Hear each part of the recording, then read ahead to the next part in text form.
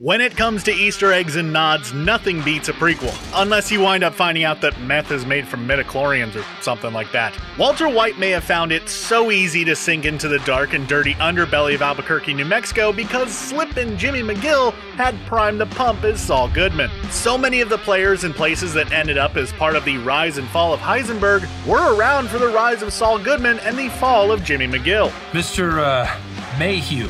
Oh, look at you. Should I uh, call the FBI and tell them I found DB Cooper? How much crossover is there exactly? Well, let's go ahead and dive right into it.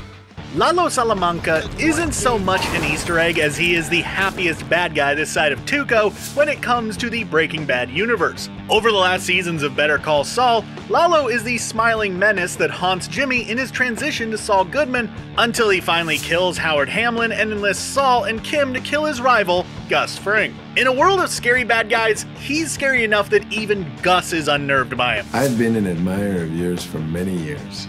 I come here on behalf of my entire family. Saul clearly doesn't get free of his terror, asking if Walt and Jesse were sent by him in his first appearance on Breaking Bad. According to creator Vince Gilligan, he had to be talked into including him by the writer's room, a decision that he's ultimately happy he made.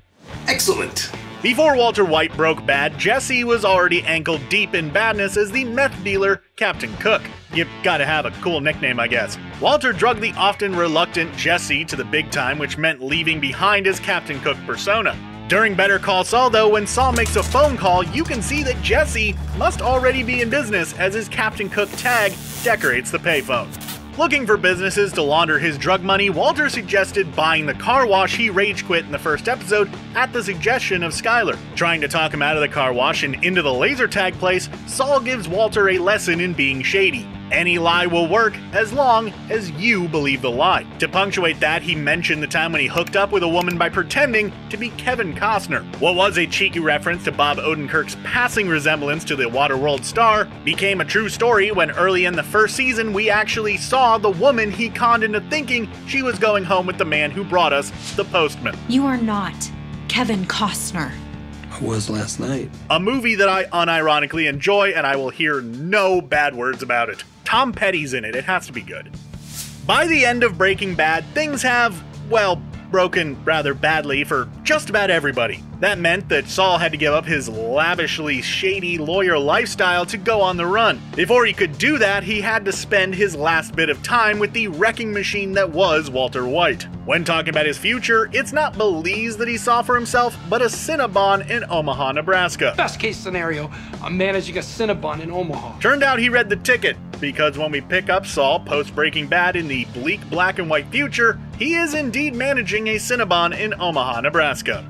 Just because Saul, Walter Fring, and company are epic levels of shadiness with ill intent, that doesn't mean that they are the only despicable people in Albuquerque. When Saul is introducing Kim to the dark side of working cons, their target is an arrogant stockbroker named Ken. Ken the stockbroker doesn't let being conned get to him though, because the next time he's seen, he's driving a BMW with the personalized plates Ken wins. Being a typical BMW driver, he's a bit of a tool, and he wound up cutting into a parking spot that Walter was going for while waving him off and talking on his Bluetooth. Walter runs into him again at a garage, still babbling into his Bluetooth, so Walter took the opportunity to bridge the connection on his car battery with a squeegee, setting it on fire.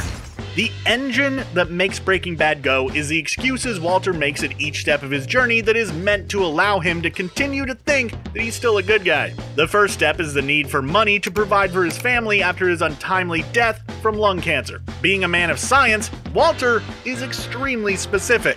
So much so that he states that he needs exactly $737,000, which wound up not being enough. When Saul, as Gene, starts running a scam with the cab drivers that figure out who he is, one of the targets that almost restores Jimmy conscience is a Mark who has cancer. When Jimmy goes to collect what the cabbie wouldn't, we find out that this cancer patient hasn't broke bad because he already had $737,000. The El Camino became the title of Jesse's follow up movie that tracked his escape and eventual settlement in Alaska. In Better Call Saul, the El Camino dining room is a favorite place to meet clients for Kim Wexler, as well as a place to be told that Salamanca is still alive by a very stern Mike.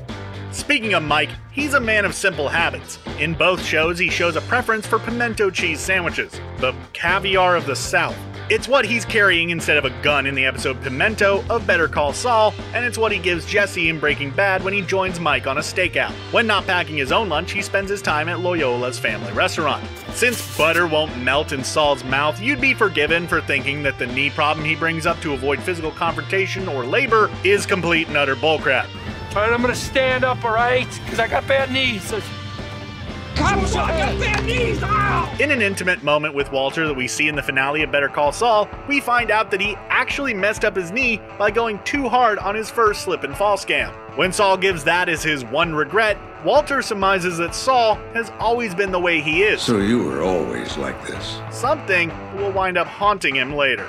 It's hard to believe in a world that has Walter White, Jesse Pinkman, Combo, Badger, and Skinny Pete, there is someone who is an even worse drug dealer, and it's not even close. That man is Daniel Wormald. He sells ill-gotten pharmaceuticals to Nacho and, not listening to Mike, is flashy with his cash. Naturally, that got his house tossed by Nacho and his baseball cards stolen. Apparently, Daniel recovers because he goes on to be the Danny that Saul says makes his laser tag arena the best bet for money laundering. Either that or he's a psychic vampire named Colin Robinson.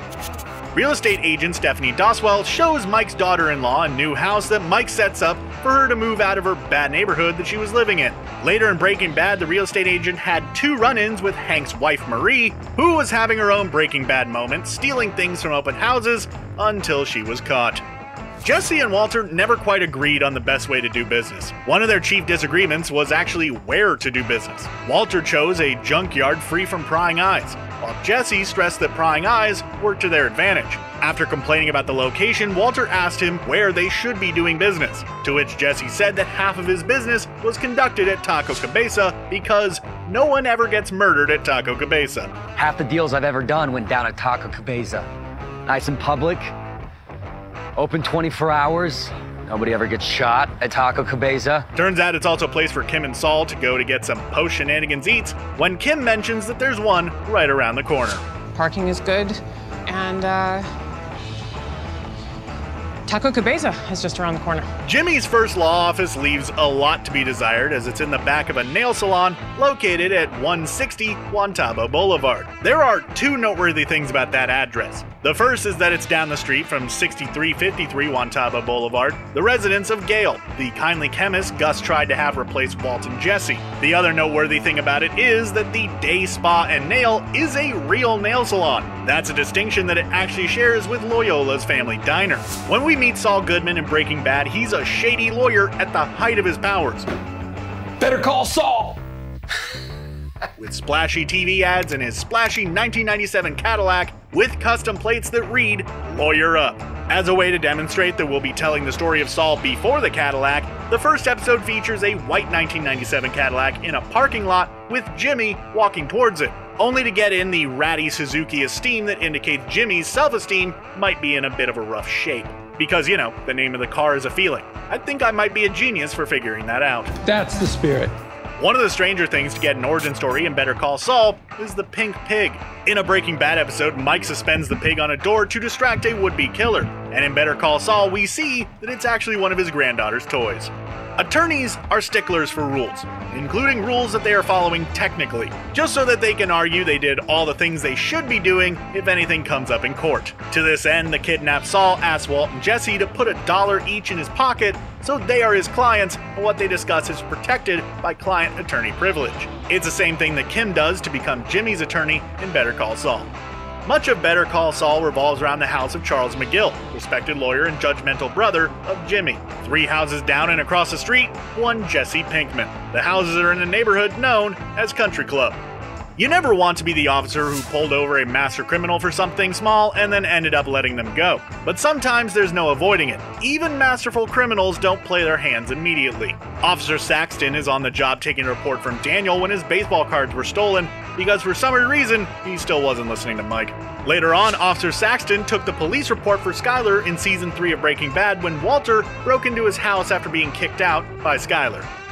Ice Station Zebra is three things. It's a 1968 spy movie on a submarine and the titular research station and the hunt for Russian spy photos taken with stolen technology. Ice Station Zebra is also the name of one of Saul's shell companies that he uses to shuffle money around. And uh, make it out to Ice Station Zebra Associates. That's my loan out. And in Better Call Saul, we also find out that it's Kim's father's favorite movie that she watches to think of it, which is actually really sweet. My dad loves this one. Sometimes production will hide things in shows or movies that they assume will just be for them. But if someone does discover it, they'll get a pretty special message. But this is the internet times, so when there was a hidden message in the episode titles for season 2, the internet was able to really quickly decode the message everyone had been waiting for. The first letter of each episode spelled out Fring's back.